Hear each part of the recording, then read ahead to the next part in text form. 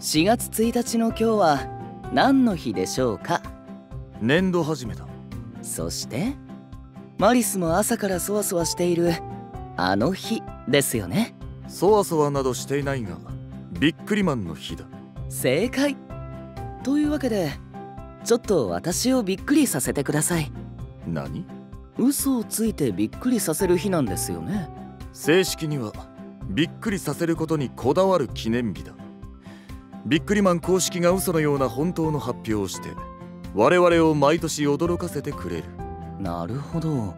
実は本当だったというのがポイントなんですね。人をびっくりさせ楽しませる。それがビックリマンにおけるびっくりの真髄だ。嘘のような本当のことか。例えばビックリマンの因子を持つ私たちはビックリマンシールを体に貼ることで合心することができる。とか？事実だから嘘ではないな。確かに。それじゃあマリスはエリアマネージャーなのに結構な頻度でびっくりの点に来る。とか？事実だから嘘ではないな。マリスはスペアのメガネを3億個持っている。それはもはやただの嘘だろびっくりな嘘をつくのって難しいですね。まあびっくりな嘘をつくのは難しいんだ。あもう一つ思いつきました。セイマートびっくりの点にビックリマンチョコが300万個入荷しました。事実な上に私が発注したんだそうですよ。バレンタインだからって本当に発注するなんて1日で完売したから良かったですけど。